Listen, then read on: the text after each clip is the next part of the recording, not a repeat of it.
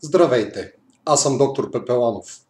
Детски лекар съм и се радвам, че имам възможността да бъда част от проекта на Дечко БГ Училище за родители.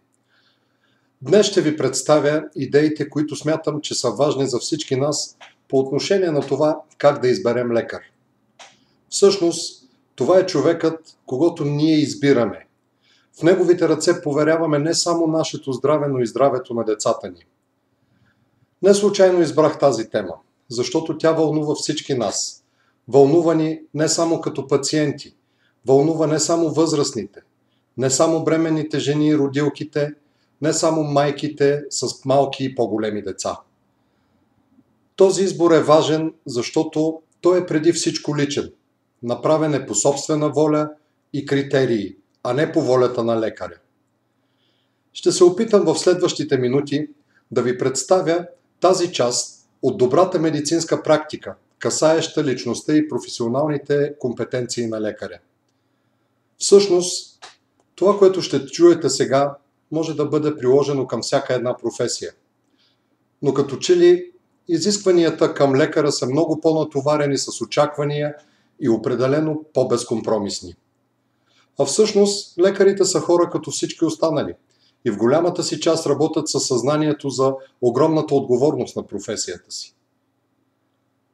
Във втората част на лекцията ще наблегна на някои от изискванията при избор на лекар през призмата на очакванията, нагласите и отношението на реални хора при този избор. Защото смятам, че освен да бъде избиран лекарът, той също преценя хората, които го избират и има своите усещания, мисли и нагласи което, впрочем, опита ми показва, че това се пренебрегва понякога от пациентите. Вероятно тази част също би предизвикала интереса ви. И така, как би трябвало да изглежда добрия доктор? Това е описано в документ, наречен Правила за добра медицинска практика. Ще ви представя частта, касаеща личността на лекаря – в основата на всяка добра медицинска практика са застъпени няколко основни принципа. На първо място това е професионалната компетентност. Доктора трябва да има добри комуникативни умения, да има достойно отношение към пациентите, да бъде етичен в поведението си към пациенти и колеги, както и да умее да работи в екип. Какъв би трябвало да бъде добрия доктор? Добрият доктор поставя на първо място грижата за пациента, което между впрочем понякога се разминава с представата на самите пациенти. Добрият лекар е компетентен, т.е. поддържа високо ниво на съвременни знания и умения. Той създава и е в добри отношения с пациенти и колеги. Отличава се с честност и си заслужва доверието на своите пациенти. Отнася се с тях учтиво и внимателно – както и зачита достоинството им и пази тайната им. Добрият лекар изслушва и уважава мнението на своите пациенти, дори и то да не съвпада с неговото. Той информира пациентите по разбираем за тях начин. Или казано по друг начин, добрият лекар зачита правото на пациентите да участват в вземане на решения относно тяхното лечение, развива и актуализира професионалните си знания и умения – спазва границите на професионалната си компетентност, не разгласява поверителна информация, не допуска личните му възгледи да влияят на лечението. Незабавно се намесва, ако счита, че негов колега не е в състояние да изпълнява задълженията си. Не злоупотребява с правомощията си като лекар, както и сътрудничи с колегите си в интерес на пациентите. Добрата клинична практика и здравните грижи на лекаря се основават на биопсихосоциалния подход към пациента и включват адекватна преценка на състоянието на пациента, подчертавам, възоснова на историята на заболяването му, на изказаните от него оплаквания, т.е. симптомите, които тревожат пациента, възоснова на психофизиологичните и социални фактори, влияещи върху здравето на човека, както и неговите представи и идеи относно здравето му мнението на пациента за състоянието му и начина на справяне с проблема му. При необходимост извършва и медицински преглед. Препоръчва на подходящи, подходящи на пациента изследвания. Добрият лекар информира за вариантите на лечението на заболяването на пациента. Дава съвети. Извършва необходими и точни действия, когато състоянието на пациента изисква това. При всички положения пренасочва пациента към друг лекар, ако състоянието на пациента налага. В своята практика лекарът трябва да бъде трябва да спазва границите на своята компетентност професионална. Да отразява медицинския преглед веднага или възможно най-рано след извършването му. Да води точна документация, отразяваща съответните клинични находки, взетото решение, информацията предоставена на болния, предписаните медикаменти, изследвания и лечение. Назначава лечение само когато е добре запознат с здравословното състояние на пациента и е убеден, че то е адекватно за заболяването му. Понякога това не става само по телефона, каквито са очакванията на някои пациенти. В своята практика лекарът трябва да полага максимални грижи за облегчаване на болката и дискомфорта, без значение дали заболяването е лечимо или не. Трябва да използва максимално добре всички предоставени му възможности за профилактика, диагностика и лечение. Трябва да умее да получава достатъчно клинична информация за диагноза и лечение по неудобни и деликатни въпроси. Трябва да дава консултации по телефона или интернет, само ако е убеден, че е получил достатъчно информация за да оцени обективно състоянието на пациента и да определи начина на поведение. Своята практика лекарът трябва да провежда най-ефективно лечение, основано на медицината, базирана на доказателствата, т.е. общо приетите от медицинската общност методи на лечение. Да осигури достъп на пациента до него, когато е на работа или на разположение. Да осигури достъп до медицинска помощ и в извънработното му време, при невъзможност от негова страна да осигури такава помощ лично. Добрият лекар трябва да направи консултация или да приема съвети на други колеги, когато е необходимо. Да уважава правото на пациента на второ мнение и да информира подробно колегите си за болния. Да сътрудничи при предоставяне на информация, която се изисква по закон от организациите, контролиращи общественото здраве. По отношение на тази достъпност за пациентите, достъпът до лекаря е от голяма важност. За целта той трябва да разработи гъвкава схема за посещение на предварително записани пациенти, както и възможността за преглед и на непланирани пациенти. Да оговаря по, при необходимост консултация с друг лекар за продължаване на лечението или уточняване на диагнозата. Да се съобразява с пациентите, ако са трудно подвижни и не могат да посетят амбулаторията му. Да осигури възможност за консултация по телефона в определени часове от деня и при неспешни състояния. Но винаги има но. Дали понякога като пациенти не спекулираме с това, че имаме директния телефон на доктора? В своята практика, изследванията или лечението, които лекарят предоставя или урежда на пациента, трябва да се основават на оценката му и на тази на пациента за неговите нужди и приоритети, както и на клиничната преценка за, очакваната ефективност от възможните видове лечение не трябва да отказва или забавя лечението на пациента, дори ако смята, че болния сам е допринесъл за състоянието си. Не трябва да позволява личните му възгледи да влияят на професионалното му отношение към пациента и на лечението, което предлага или провежда. Ако лекарът провежда конкретна процедура или дава съвет, който е в конфликт с неговите религиозни или морални убеждения, и това може да повлияе на лечението или на давания съвет, трябва да го обясни на пациента и да го информира, че пациентът има право на второ мнение. Лекарът трябва да е убеден, че е предоставил на пациента достатъчно информация относно състоянието и начините на лечение, за да упражни пациента с правото си на вземане на решение. За всеки пациент лекарът трябва да гарантира грижи и лечение според здравните нужди и разпоредбите и законите на страната ни. Лекарът няма право да откаже лечение на пациент, ако здравословното състояние на болния може да го изложи на риск.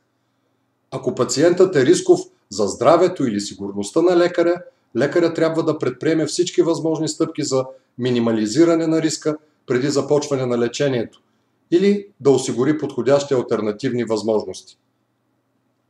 Една много, една много важна част е и партньорството. Подчертавам го. партньорство между лекар и пациент. Отношенията на откритост, доверие и добро общуване с пациентите ще дадат на лекаря възможност по-добре да определи индивидуалните потребности на пациентите от здравни грижи. Тези отношения, да не забравяме, че са винаги двустранни.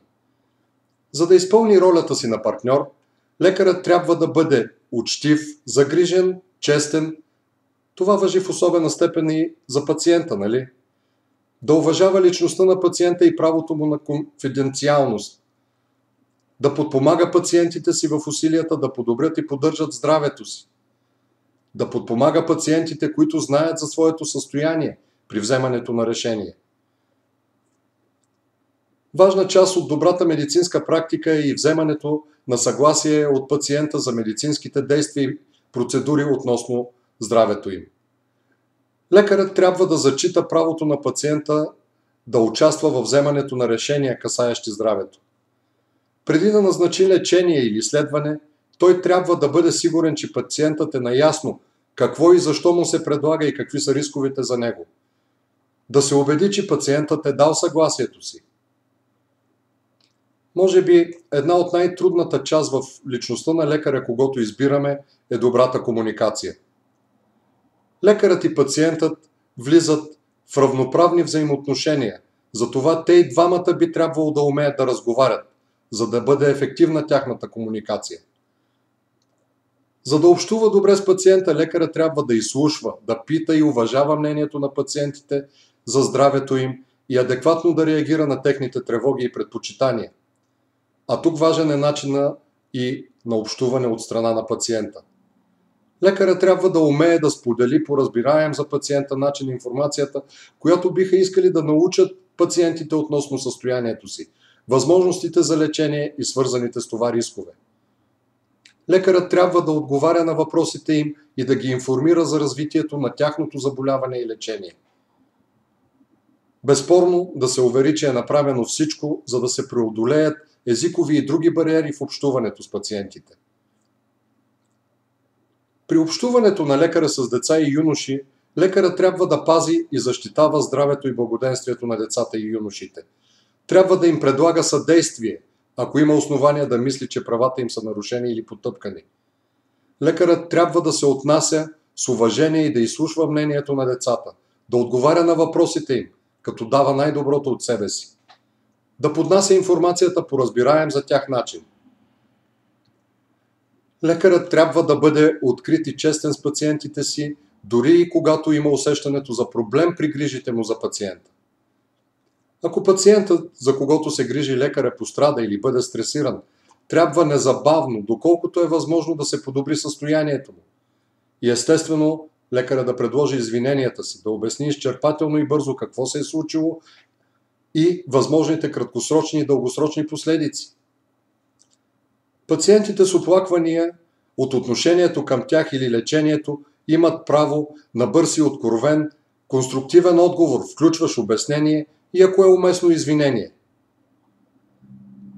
Жалбите на пациентите не трябва да имат отрицателно въздействие върху грижите на лекара за тях. Ще обърна внимание и на възможностите за прекратяване на професионалните отношения с пациента.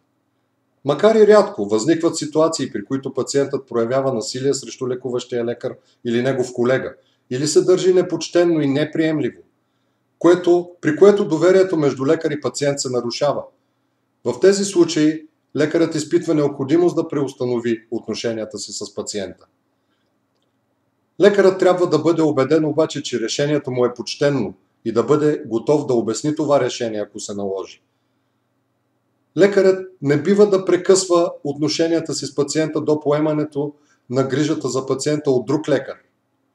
Лекарът трябва да информира пациента за своето решение и причините за преустановяване на отношенията. Ако е подходящо, това може да се направи и писменно. Но трябва да направи всичко възможно да осигури последващи грижи за пациента и да предаде здравното му досие на поелия го друг лекар. Задължително за добрата практика на лекаря е предоставяне на информация за услугите, които практиката му предлага. Информирането на пациентите е важна част от практиката и затова те трябва да са запознати с предлаганите в нея услуги. Това включва работен график, оговаряне на посещение, грижи в извънработното време и телефон за връзка. Публичната информация за услугите на общо практикуващия лекар трябва да е точна и лесно проверима, да бъде публикувана в съответствие с законите и правилата за реклама.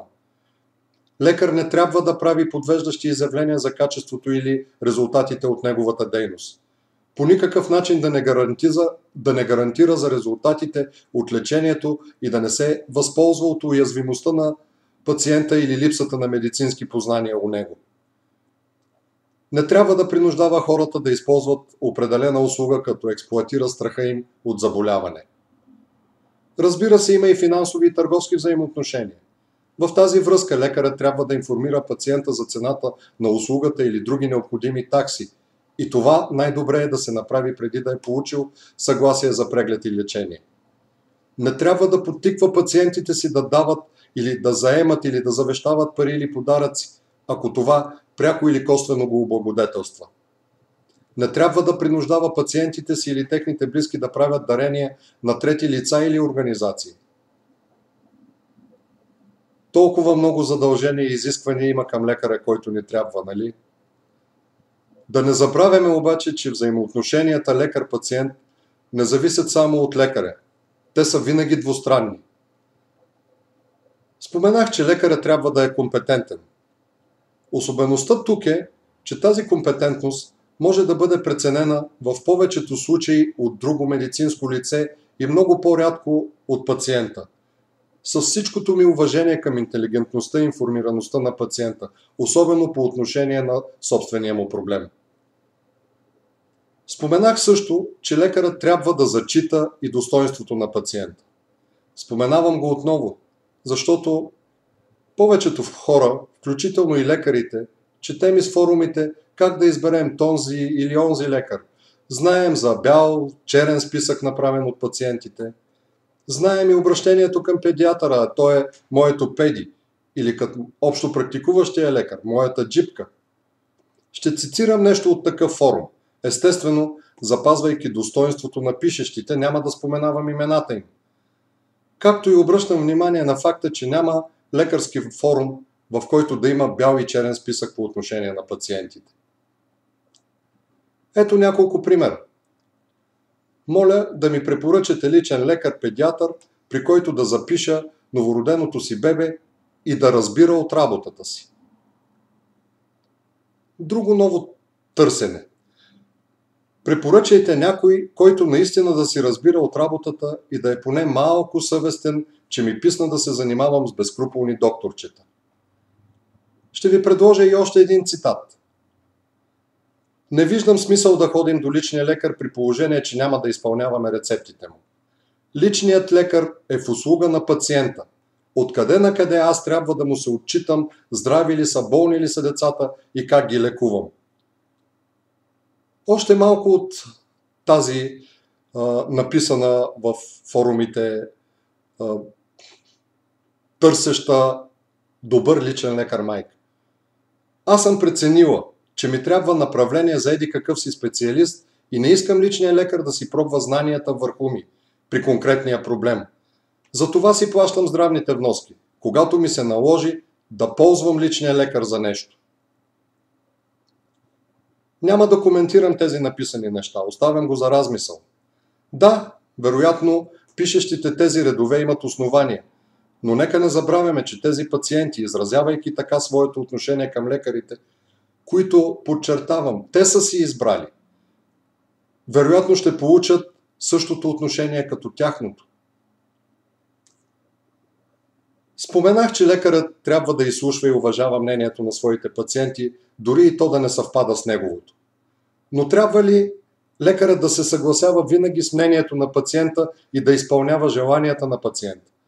Ако това се разминава с начините на лечение на проблема на същия този пациент. Ето още малко цитати от форуми. Ще ми се днес или утре да се здобие лекар. Ако някой се сеща за разумен, непристрастен към антибиотичното лечение такъв, моля да сподели мнение. Още едно такова мнение. Търся сговорчив личен лекар. Отново го оставям без коментар. Одеве споменах и нещо, което е особено важно за пациентите и то е осигурено от лекаря. А това е, че лекарят е обявил на пациентите си работен график, начин на посещение, осигурил е грижите в извънработното му време, дал е и телефонен номер за връзка. Повтарям и това, което споменах преди малко. Лекарът трябва да дава консултации по телефона или интернет, само ако е убеден, че е получил достатъчно информация, за да оцени обективно състоянието на пациента и да определи начина на поведение. Осигуряването на телефонен разговор директно с лекаря е нещо, което е безценно като възможност при нашите условия. Защото повечето пътували и ползвали услугите на здравно осигурителните и здравоопазните системи в света много добре могат да направят разлика. Споменавам го, защото отново ще цитирам нещо от форумите. Аз търся добър педиатър, такъв на който да не ми е неудобно да звъня, когато имам въпрос. И още един цитат. Моля да ми препоръчате добър и човечен педиатър, който си вдига телефона винаги, предписва адекватно лечение и изобщо адски съм недоволна от педиатърката ни. Практиката ми сочи, че доста често тази възможност за телефонни консултации и достъп до телефона на доктора по всяко време на денонощието, както и в голяма степен по въпроси, които не са от спешен порядък, се случва много често. Трудно бих си представил, че всеки един от заетите в другите сфери на живота и упражняващи други професии биха допуснали и биха се съгласили да отговарят на всяко едно позваняване денонощно. Например, от когото и да е по въпроси търпящи решаване в работното им време. Ще ви представя още едно изискване към лекаря в е търсене на пациент. Цитирам. За сега изискванията ми са да подкрепя кърменето и късното захранване, да не налага своето мнение за захранването, да не прибягва веднага до антибиотици и силни лекарства, да е откриваем по телефона и в извънработно време. Ще ви предложа и едно наистина шокиращо ме търсене на лекар по критерии, който може да сами да прецените какъв е. За мен това е изискване към лекаря да не спази законодателството. Моля, препоръчайте ми педиатър, който ще се съгласи да отразява фиктивно ваксините. Може и да не работи със здравната каса. Едва ли на всички лекари са им излишни едни 50 лева, примерно на ръка, всеки месец в замяна на една несвършена работа. Към това търсене даже има и отговори. Не искам да ги коментирам. Ако обобща до тук и моя опит от работата с хората, които са избирали лекар, ето най-честите критерии, на които трябва да отговаря доктора и на първо място това е добър. Каквото и да значи това. Опитах се обаче в лекцията да кажа какво точно е добър лекар според правилата за добрата медицинска практика. Второто изискване е да е на разположение 24 часа в денонощието и 365 дни в годината при нужда, каквато и да е тя. Да отговаря по телефона си винаги, когато по телефона му звъни избралия го пациент. Да се съобразява и изпълнява мнението на пациента. Да не използва антибиотици и силни лекарства. Да не се чака пред кабинета му много – да прави домашни посещения при пациента по преценка на пациента, да дава решение на проблема на пациента и носи отговорност за здравето му, независимо от това дали пациентът ще изпълни препоръките му, да приема и изпълнява условия поставени от пациента. И не на последно място, може да ви прозвучи грубо, но всичко това да е от избрания личен лекар, сключил договор с здравната каса, т.е. безплатно. Според едно българско проучване обаче, на тема как избираме лекар, ще ви представя малко резултати. Най-често избора на личен лекар е резултат от съвет на познати и приятели в 40,3%. Познати и приятели записани при този лекар. На второ място избора на лекар се прави по съвет на членове на семейството в 23,1%. Едва на трето място е самостоятелното вземане за решение при избора на лекар в 21%. И съвсем рядко в 14% този избор е станал случайно. В тази разработка са отчетени и водещите мотиви за смяна на личния лекар, което общо взето отразява недоволството на пациента от обслужването и от лекаря. На първо място това е проблем свързан с получаване на направление към специалист. На второ място е дългото чакане пред кабинета за преглед. А на трето място отказ от домашни посещения при нужда. Това са водещите три мотива за смяна на лекар. Следващите относително чести мотиви са невъзможно откриване на лекаря по телефона при нужда, нежелание да разговаря и да ми обяснява проблемите, нежелание да се определя предварително час за преглед. Хубаво е, че пациентите все още имат възможност да избират лекар предвид кризата в медицинското обслужване. И както всички виждаме, кризата води до това около 400 лекари, както и много медицински сестри да напускат годишно страната, търсейки по-добра реализация за себе си и своята професия. Не само в финансов план, разбира се. Пожелавам на всички успех в търсенето на лекаря, удовлетворяващ всички изисквания. В заключение, в повечето професии има изработени критерии и изисквания за определената професия, както и длъжностна характеристика на работещия. Нека погледнем и в себе си. Дали всеки от нас, като човек, като пациент, като работещ, би отговорил на всички тези изисквания при работата си. Аз лично мисля, че основният критерий при избора на лекар това е да му имаме доверие. Да изградим доверие. Както е също толкова важно да създадем и ние като пациенти доверие у лекаря, за да може адекватно, бързо, ползотворно и в интерес на всички да решаваме проблемите, свързани с здравето. За съжаление нямаше въпроси, на които да мога да ви отговоря по темата. Но се надявам всеки един през собствените си мисли, през собствените си усещания да намери подходящия за себе си лекар. Да, той може да не е знаещ абсолютно всичко в медицината, но той е човека, на когото, ако се доверим, той ще може да ни помага да решаваме здравословните си проблеми, да ни насочва при нужда към други специалисти. Пожелавам на всички приятна, спокойна вечер и най-вече здраве. Благодаря ви!